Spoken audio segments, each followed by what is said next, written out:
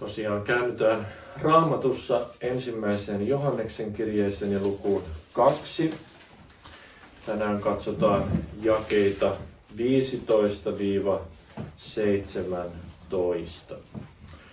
Ensimmäinen Johanneksen kirje luku 2, 15-17.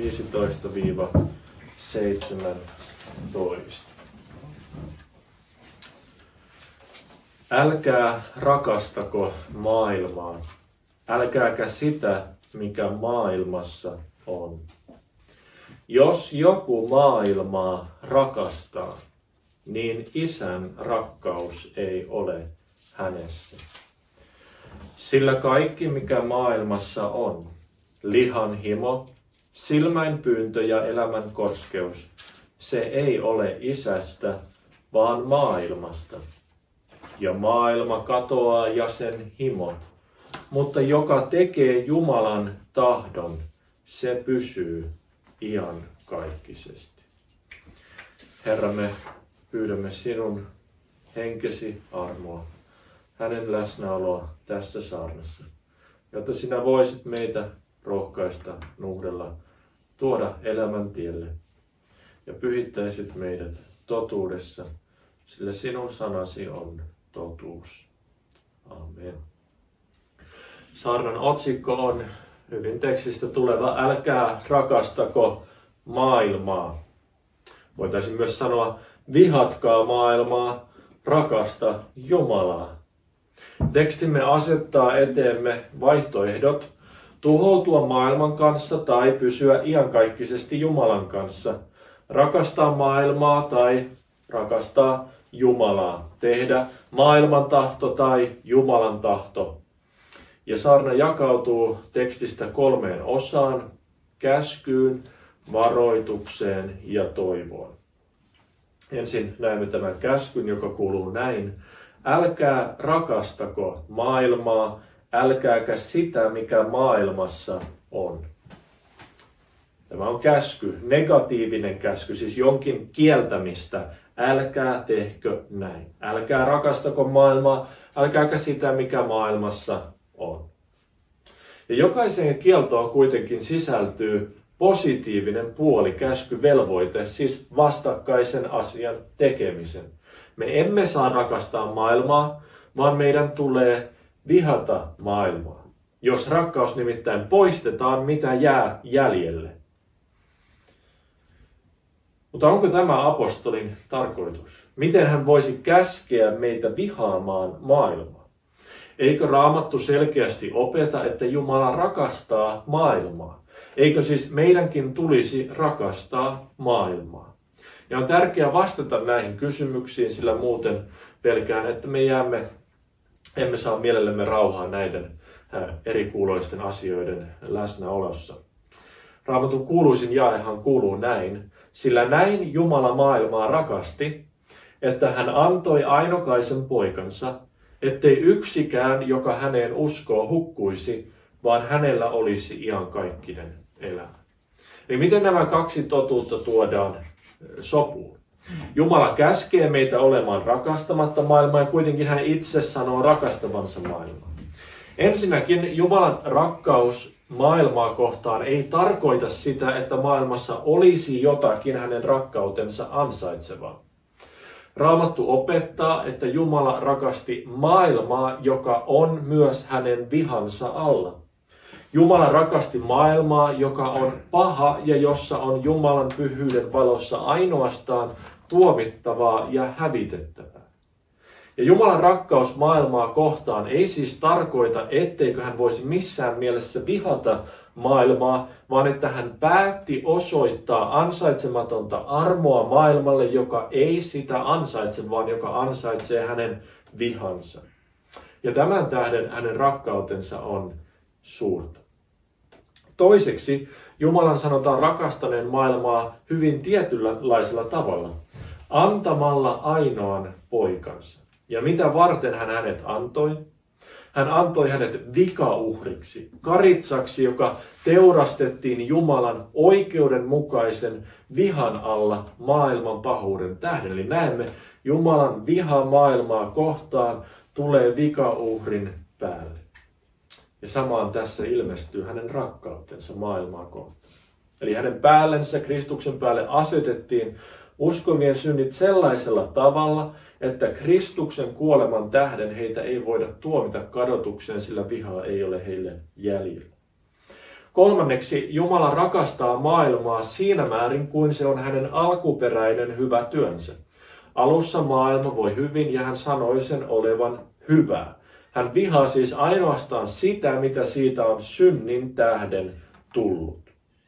Ja neljänneksi tätä sanaa maailma, kosmos, käytetään hyvin eri tavoilla eri asiayhteyksissä, eikä se aina tarkoita samaa. Ja uskon, että tässä tekstissä sanalla maailma tarkoitetaan varsin eri asiaa kuin tässä toisessa kohdassa.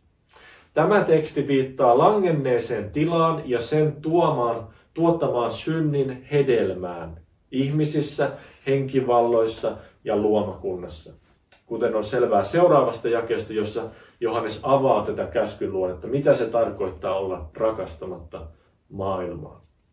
Evankeliumin teksti taas viittaa Jumalan ansaitsemattomaan rakkauteen ja lunastamaan tarkoitukseen uskovia ja koko luomakuntaa kohtaan. Meidän tulee siis rakastaa maailmassa olevia ihmisiä ilman, että rakastamme sitä, mitä he ovat ja tekevät synnin orjina. Me rakastamme heitä kyllä Jumalan kuvaksi luotuina älyllisinä olentoina, ja meidän tulee sääliä sitä kurjuuden ja pimeyden tilaa, johon synti on ihmisen tuonut. Mutta me rakastamme ja säälimme ihmistä oikein ensimmäiseksi sillä totuudella, että Jumalan vihaa vääryyttä ja pahan tekijöitä kohtaan eh, ja että tuomalla sen esille, että tämän tähden kadotustuomio kuuluu kaikille ihmisille. Ja tämän kautta ihmisen omatunto voi haavoittua lihallisesti ja hän voi vihassa katkeroitua ja kieltää oman pahuutensa ja tämän tuomion olemassaolon, joka hänelle kuuluu. Mutta pyhän hengen työn kautta, tämän saman tuomion sanan kautta, ihminen voi saada todellisen synnintunnon ja kysyä niin kuin miehet kysyivät helluntaina Pietarilta apostolien teossa luvussa 2 jakeessa 37. Miehet, veljet, mitä meidän pitää tekemään? Miten voimme paeta tuomiota?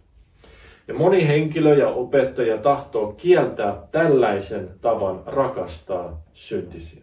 Se on liian loukkaavaa. Eikä Jumalan rakkaus tule kommunikoiduksi, jos me tuomitsemme ihmisiä. Ja kaiken voi aina sanoa typerästi ja omavanhurskaasti, mutta jos aiomme jättää kaiken tämän totuuden sanomatta siksi, että se saattaa loukata, olemme harhatiellä.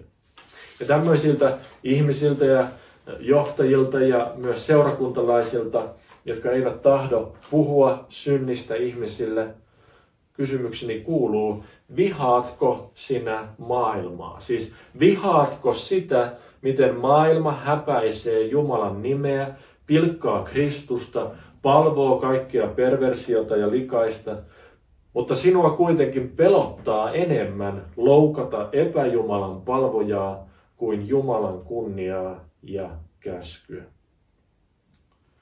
Pyhä henki nimittäin tuli todistamaan synnistä, vanhurskaudesta ja tuomiosta.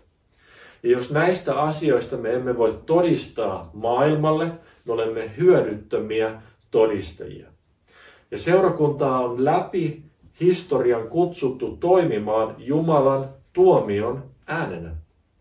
Profeetat jatkuvasti kutsuivat kansaa hylkäämään muun muassa lastenmurhan, abiorikokset, Malakian kirjassa, Jeremian kirjassa nämä lastenmurhat, myös Jesajassa, juopumisen Joelin kirjassa, väärät uskonnot, jokaisessa näissä riistämisen, Jesajan kirjassa varsinkin, pikkuprofeetoissa, väärän todistuksen, sapatin rikkomisen ja näin edelleen. Johannes Kastaja tuomitsi hallitsijoiden synnit ja kärsi seuraukset.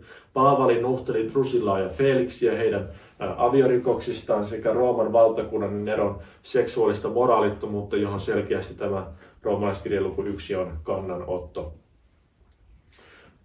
Nerohan siis oli homoseksuaali ja näin poispäin. Seurakunnalla ei ole oikeutta pysyä siis vain sivusta katselijana, kun yhteiskunta rappeutuu ja vain toitottaa niin sanottua rakkauden sanomaa, kuinka Jumalalla on mahtava suunnitelma, jos nyt vain hyväksyt Jeesuksen sydämeesi ja annat hänelle mahdollisuuden. Ja tähän syntinen aina vastaa, että mahtavaa, minullakin on hyvä suunnitelma omalle elämälleni. Mutta kun ei puhuta synnistä, niin ei myöskään tule oikeita käännynnäisiä. Ja meidän tulee pyrkiä rauhaan, kyllä, jos mahdollista, mutta uskova ei voi olla rauhassa synnin kanssa. Emmekä me voi taistella sitä vastaan väärällä teologialla ja epäraamatulisilla metodeilla. Meidän tulee tuomita maamme vuodattama veri, avioliiton häpäiseminen, pienten lasten ruumiin tuhoaminen tämmöisillä lääkkeillä, kun he kärsivät sukupuolisekannuksen tämmöisestä mielisairaudesta, Herran päivän räikeästä rikkomisesta, väärän uskonnon promotoimisesta ja Jumalan sulkemisesta kaikista päätöksistä. Ja tämä on yksi seurakunnan tehtävistä, ja, ja meidät on kutsuttu siihen. Me emme saa rakastaa maailmaa, ja sen takia seurakunta pitää tuntea myös siitä maailman seassa, että he eivät rakasta maailmaa siinä mielessä, kun puhumme tästä synnistä ja, ja pahuudesta.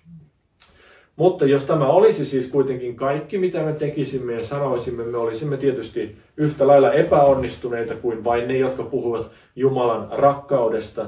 Sillä jos emme julista hyviä uutisia ja mahdollisuutta pelastukseen, jotka ovat ilme, tämä hyvä sanoma, joka on ilmestynyt Jeesuksessa, Jumalan rakkaudessa, me olemme vain oma vanhurskaita väärän evankeliumin julistajia, jotka haluamme vain siveellisen maailman. Vaikka maailmassa olevaa pahuutta ei tule rakastaa, vaan vihata tulee siinä olevia ihmisiä rakastaa vastaamalla tähän heidän kysymykseensä, jos pyhä henki heidät siihen tuo, mitä meidän tulee tehdä pelastuaksemme. Ja meidän tulee julistaa ennen kaikkea kääntymystä synneistä kohti Kristusta, joka ottaa jokaisen hänen tukensa tulevan vastaan ja julistaa uskoa yksin häneen täydellisenä sovittajana. Sillä mekin olimme ennen maailmassa, me olimme tätä maailmaa, olimme pimeys. Mutta meidät on pelastettu siitä ja meidät on pelastettu muun muassa evankelioimaan. Kristus on ainut ja riittävä pelastus. Ja meidän tulee osoittaa Jumalan rakkaus kuinka hän antoi ainokaisen poikansa pahojen ihmisten niin kuin meidän tähden. Hänessä me lupaamme jokaiselle varmaa pelastusta. Ja tämä pelastus sisältää vapautuksen maailman rakastamisesta. Ei täydellistä vapautusta tässä ajassa, mutta todellisen orjuudesta vapautumisen niin, että ihminen tulee omaamaan kasvavissa määrin suuremman rakkauden Jumalaa ja hänen tahtoonsa kohtaan. Ja näin meitä opettaa tekstin varoitus. Jos joku maailmaa rakastaa, niin isän rakkaus ei ole hänessä, sillä kaikki mikä maailmassa on, lihanhimo, silmänpyyntö ja elämän korskeus, se ei ole isästä, vaan maailmasta. Nyt näemme siis, mitä Johannes tarkoittaa maailman rakastamisella. Ensin hän kuitenkin varoittaa vakavasti, jos joku maailmaa rakastaa, niin isän rakkaus ei ole hänessä. Ja tämä on hyvin pelottava varoitus, sillä toisin sanottuna se tarkoittaa tätä.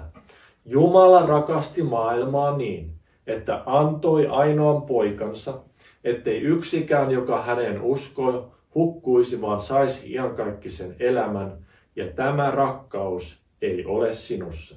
Sinulla ei ole poikaa, uskoa ja iankaikkista elämää.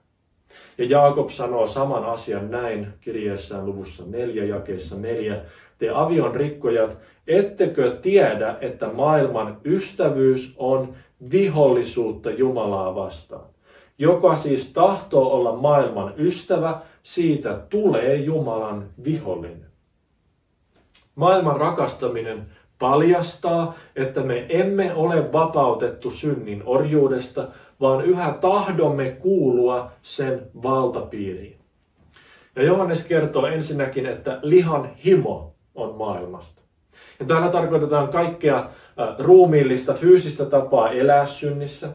Syntiluonto, kun se käyttää meidän ruumistamme esimerkiksi raamatussa mainitseviin ylensyönteihin, haureuteen, väkivaltaan, muuhun tällaisen pakanallisen hedonismiin. Ja uskovien tulee olla valveilla lihan syntejä vastaan. Tästä roomalaiskirja 6 puoli. Älkää antako jäseniänne, käsiänne, jalkojanne, korvianne, kieliänne, silmiänne synnin käyttöön, vaan antakaa ne armon käyttöön. Jos luulet seisovasi ja kuvittelet olevasi haavoittumaton, lankeat pian niin kuin monet Korinton seurakunnissa.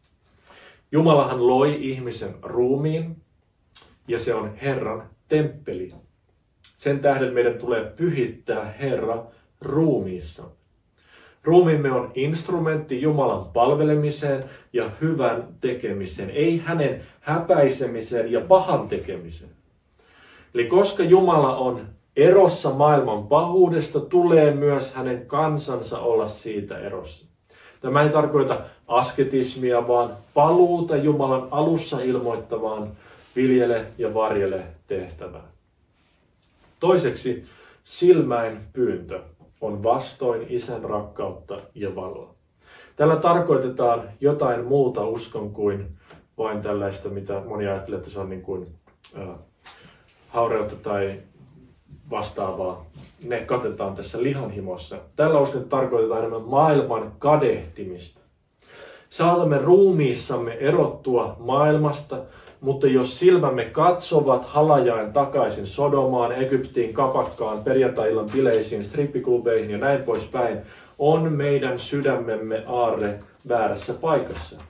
Ja uskovan on Raamatun mukaan varsin helppo langeta tähän syntiin, varsinkin vaikeina aikoina, kun he eivät elä yhteydessä Jumalaan ja löydä iloa hänestä. Ja joskus uskova saattaa katsoa maailman ihmisiä ja heidän ajallista onnea ja iloa ja huolettomuutta ja katkeroitua Jumalalle. Ja tästä me lauloimme, kuinka Aasaf tuli sokeaksi omille siunauksille, ne kadehti pahoja ihmisiä, psalmi 73 ja 21, hän tunnustaa, kun minun sydämeni katkeroitui ja minun munaskuihini pisti, silloin minä olin järjetön enkä mitään älynnyt, olin sinun edessäsi kuin nauta. Mutta mikä oli hänen laulunsa, kun hän uudisti mielensä? Ketä muuta minulla olisi taivaassa? Ja kun sinä olet minun kanssani, en minä mistään maan päällä huoli. Vaikka minun ruumiini ja sieluni nääntyisi, Jumala on minun sydämeni kallio ja minun osani iankaikkisesti. Minun onneni on olla Jumalaa lähellä. Minä panen turvani häneen, Herraan, Herraan, kertoakseni kaikkia sinun tekojasi. Kolmanneksi tämä elämän korskeus, joka mainitaan, on pimeydestä. Ja tällä tarkoitetaan maailman halua näyttää kunnioitettavalta. Tämä synti saa aikaan sen, että pelkäämme ihmistä enemmän kuin Jumalaa. Emme tahdo menettää kasvojamme tai arvokkuuttamme ihmisten edessä, vaan mieluummin petämme Jumalan sanan totuuden ja tämän käskyt. Ja ihmispelko on jokaisen meidän todellinen syntimme, ja Jopa Paavali luemme apostolien teossa, kuinka häntä pelotti ja hän joutui pyytämään rukousta, että hän rohkeasti julistaisi. Ja siitä tulee tehdä päivittäistä parannusta. Mutta mitä Raamattu sanoo Mooseksesta? Mahtava esimerkki hebrealaiskirjaluvussa 11, jakeessa 24. Ja Mooseskin kamppaili hyvin paljon pelon kanssa, mutta kuitenkin hänen uskonsa voitti ja näin hänestä sanotaan – Uskon kautta kieltäytyi Mooses suureksi tultuaan kantamasta Faaraan tyttären pojan nimeä.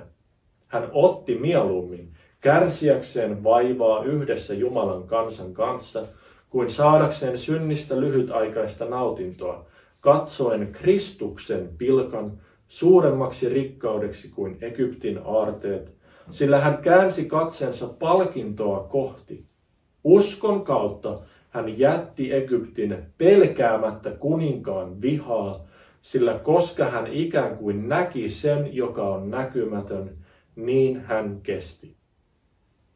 Niin Mooseksella oli valtakunta hyppysissään, kaikki ne rikkauksineen, mutta hän valitsi mieluummin vanhurskauden. Ei sen tähden, että Mooses olisi jotenkin ihmeellinen, vaan siksi, että pyhä henki asui hänessä ja hänen uskonsa voitti maailman, niin kuin Raamattu lupaa jokaiselle uskovalle ensimmäinen korintolaiskirja luku 10 ja 13. Teitä ei ole kohdannut muu kuin inhimillinen kiusaus, ja Jumala on uskollinen. Hän ei salli teitä kiusattavan ylivoimienne, vaan salliessaan kiusauksen hän valmistaa myös pääsyn siitä niin, että voitte sen kestää. No, olemmeko me maailmasta vai isästä? Tunnustammeko me kaikki nämä synnit sydämessämme ja kysymmekö itseltämme peloissamme, olenko minä Jumalan lapsi? Ja jos tunnistat itsesi Jumalan lapseksi, että taistelet näitä asioita vastaan ja tahdot niistä eroon, voit rohkaista mielesi näillä sanoilla ensimmäinen Johanneksen kirje, luku 5 ja 5. Kuka on se, joka voittaa maailman, ellei se, joka uskoo, että Jeesus on Jumalan poika? Eli yksinkertainen usko Kristukseen on jo lupaus siitä, että hän pitää meidät perille asti. Kristuksen omat kestävät loppuun saakka ja he eivät tule maailman voittamiksi.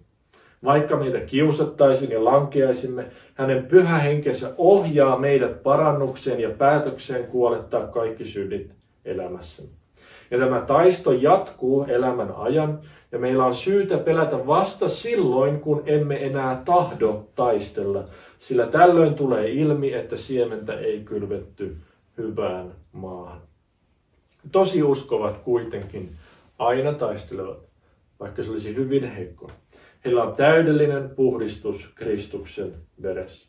Ja heidän pelastusvarmuutensa ei lepää heidän pyhityksen määrässä, vaan sen aikaan saajan läsnäolon ja rakkauden todellisuudessa.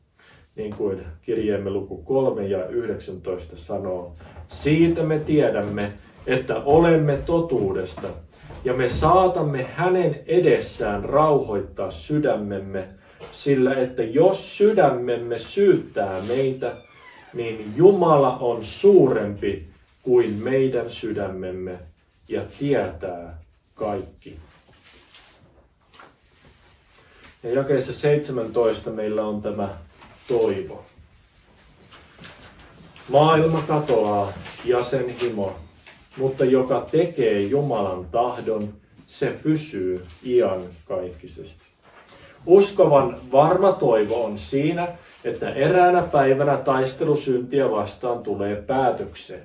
Emmekä elä synnin ympäröimänä niin kuin Loot Sodoman keskellä, kuten Raamattu hänen esimerkkinsä kautta lohduttaa toinen Pietarin kirje luku 2 ja 7-9,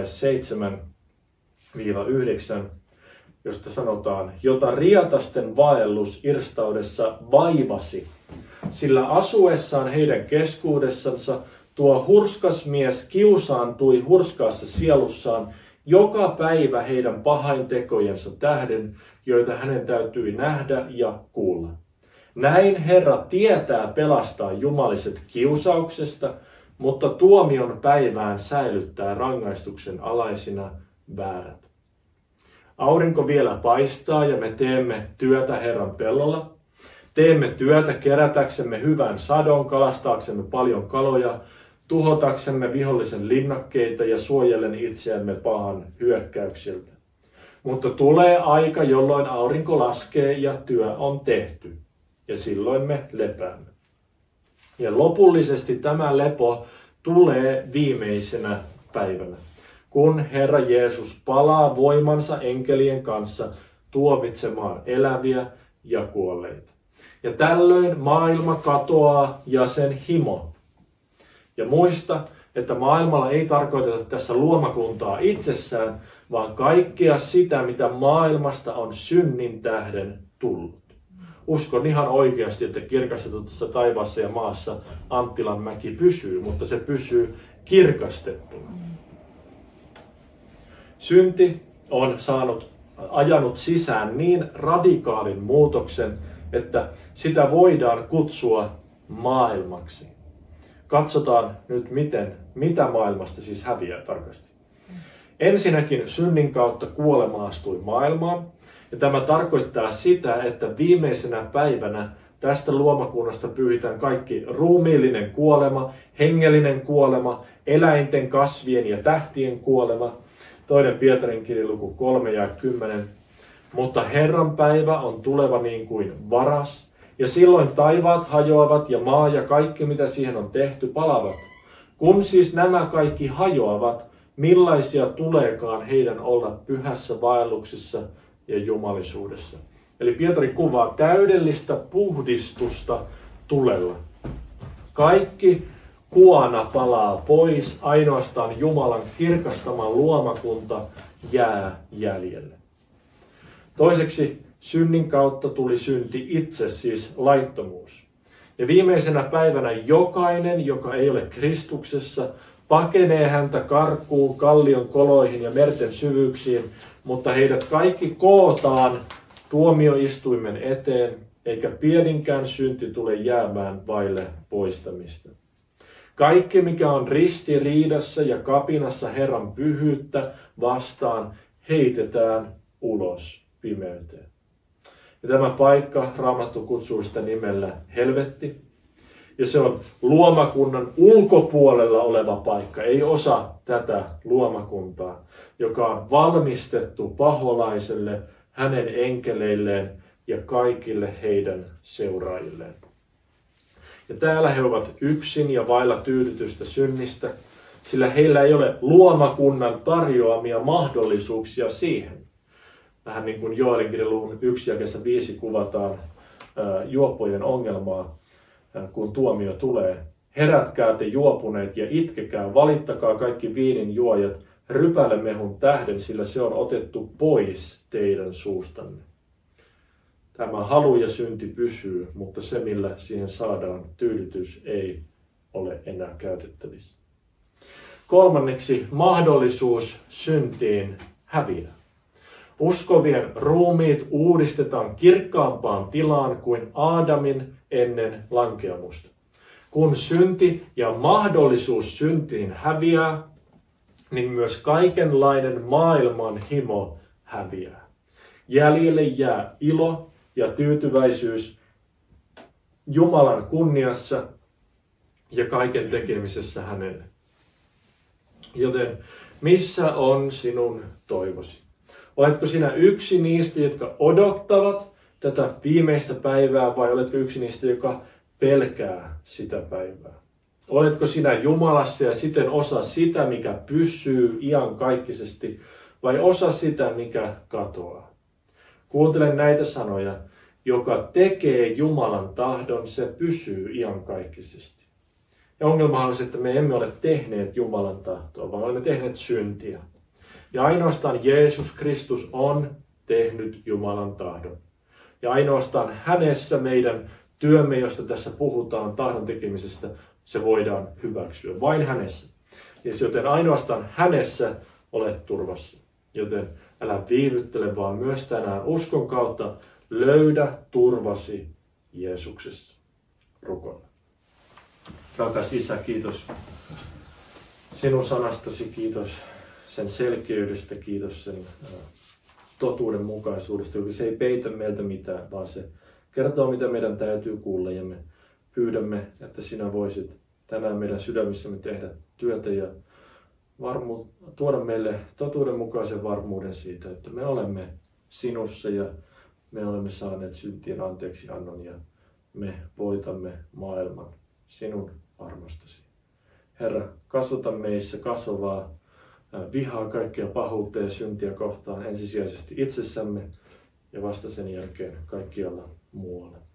Herra, pyydämme, että voisit yleisen armosi kautta hillitä kaikkia pahuutta ja syntiä tässä maassa ja pehmittäisit ihmisten sydämet niin, että he voisivat tulla tuntemaan iankaikkisen elämän Jeesuksen Kristuksen. Amen.